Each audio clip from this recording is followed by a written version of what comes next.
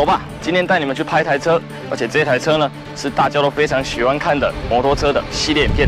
走，今天呢要来拍的就是这一台销量非常好的 Meli。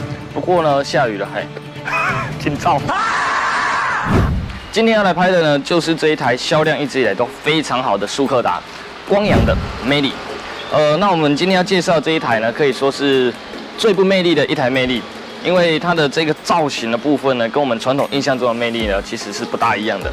我们常常看到的就是那个比较复古的感觉，前高后低式的那个设计。那这一代的推出呢，比较不一样。它在侧板的部分使用的是一个比较六角形的，呃，比较独特一点。那这一台车它的推出呢，共分为八个款式。虽然这一台目前已经停产了，不过当时有八个款式。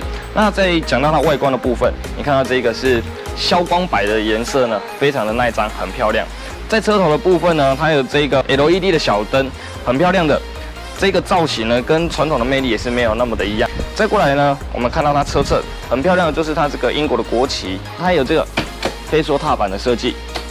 走到车尾的部分呢。它整个车尾的设计呢，较简洁利落一点。比如说它的方向灯呢，就是这个一条式的。那在中间的尾灯也是 LED 的，这一点非常的漂亮。再过来，我们讲到它的一个骑乘感受的话呢，这台车呢，它属于比较小台又比较轻一点，然后它在前段出力呢比较猛。不过呢，在后段的部分，在再加速的时候呢，就没有那么的一个充沛的感受。所以说呢，当你这台车在骑快的时候，尤其它车小又轻，会有一种不安定感，有点飘的感觉。而且它的龙头很轻，所以你骑快的时候呢，确实会有一点怕怕的。而且它的坐垫呢，坦白讲，小小的一个。当你如果是满坐两个人的时候呢，在后座的乘客呢，必须要很专注的抓住后把手，还是前方的这个驾驶者。不然，当他加速的时候，你会有一种往后倾的感觉，这种感受呢是有一点危险的。不过这个部分你可以透过事后再加装一个小馒头，也就是腰靠的部分来减缓这一个不安定感。不然，如果以这一台车的话，因为这台车呢主要的销售对象大概也都是一些女生，所以它的龙头轻是很不错的，在一些大街小巷穿梭的时候呢，非常的方便跟灵活。但是在骑快的时候呢，就要特别的小心了。OK，这一台 Mini。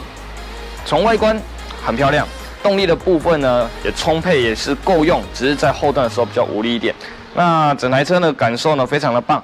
那之后我还会有一些其他的影片的推出，记得要关注我的 YouTube 频道。我是东西，拜拜。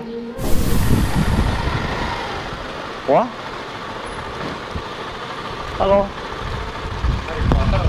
七哦，要帮忙吗？